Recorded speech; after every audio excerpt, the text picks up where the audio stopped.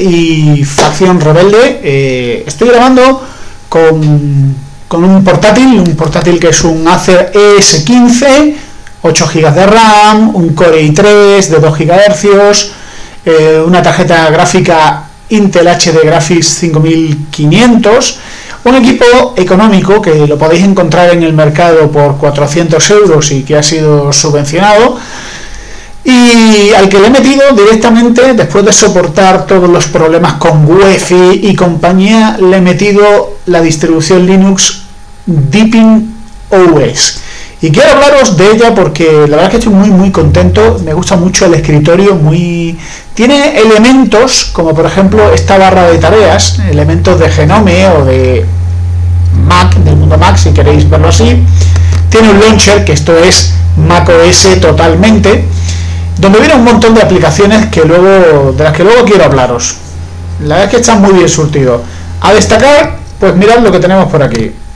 La tienda de aplicaciones de Deepin OS. Una tienda de aplicaciones que tiene una cantidad enorme de, de software, QBitTorrent, LibreOffice, todo lo habitual que podéis encontraros en una distribución Linux, pero muchas más cositas, muchos programas emulados se ve que tienen una licencia de Code Weavers Wine de este, el emulador, y, la verdad que está muy bien. Mirad, aquí está Calibre.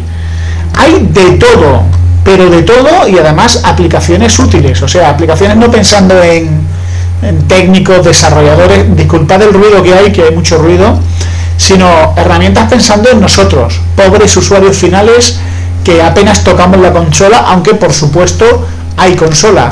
¿Qué os podéis encontrar en, esta aplicación? Pues aparte de muchos atajos, tonterías y escritorios, que eso a, mí me, entusiasma, podemos encontraros, podemos encontrarnos, pues, por ejemplo, por defecto VPS, la suite ofimática que imita totalmente, pero totalmente a Microsoft. Así que, eh, bueno, es idéntica, ¿eh? es pero idéntica, idéntica, muy fácil de usar y sobre todo muy completa.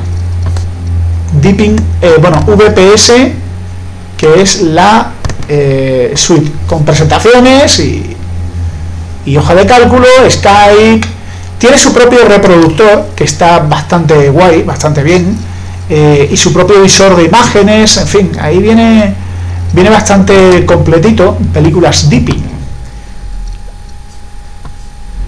Bueno, este, este que tenéis de fondo es el de música, que está muy bonito, muy chulo. También sirve para ver pelis online. Y este que tenemos aquí, pues es el, el visor. Esto es una película que estoy viendo. Y estoy viendo esta película por la banda sonora. Se llama How I Live Now. Está muy curiosa.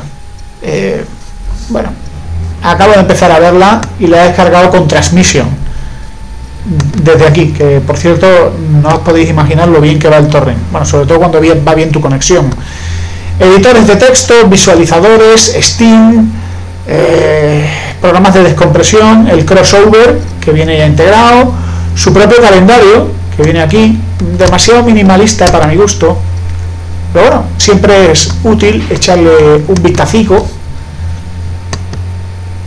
¿Qué más tenemos? Focuswriter, que es un programa que me gusta mucho para centrarse en la escritura. Eh, editores de vídeo, aquí tenemos OpenShot Video Editor. Bueno, aquí viene de todo, de todo. La verdad es que es una aplicación muy chula. Y mirad, este es el panel de control. Para que tengas total acceso a tu hardware. Lo he conectado, que ya sabéis que me gusta trabajar con, con pantallas externas, una pantalla vía HDMI, tener las dos pantallas Funciona de maravilla. Es fácil de configurar. Esto es muy Windows 8 o Windows 10. Es fácil de configurar.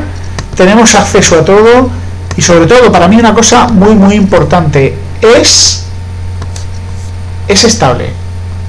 Es una aplicación, es un es una distribución Linux que es muy estable, que se autoactualiza y que, y que cuida pues muy mucho lo que es la imagen, y, todo lo demás. La verdad es que estoy muy muy contento.